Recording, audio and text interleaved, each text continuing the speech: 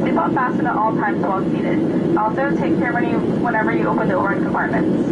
We ask that lavatories located in your cabin. Please refrain from congregating around lavatories and galleys. We want to welcome our Mileage Plus members who are earning award miles from today's flight. To become a member, visit United.com. We're proud to be a founding member of Star Alliance, offering our customers more destinations than any other alliance in the world. We will be serving a variety of company drinks as well as alcoholic beverages for purchase.